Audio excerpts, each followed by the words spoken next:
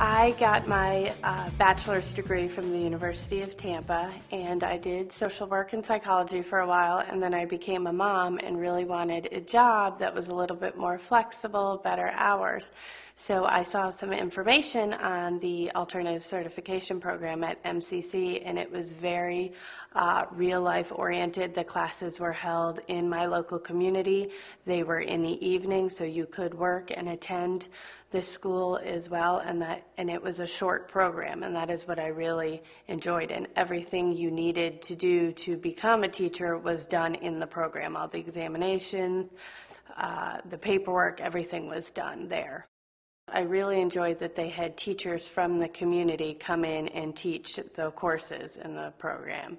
And that was really enjoyable because you got to hear one on one what it's like in this county and surrounding areas.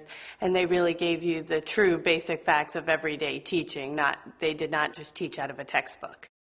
I believe that MCC gave me the foundation that I needed to help find a job. They were very helpful in what to do on interviews, how to even drop off your resume. They gave me the information I needed to pass all the certification exams, and I did as before I even completed the course, I got a job in our local school system.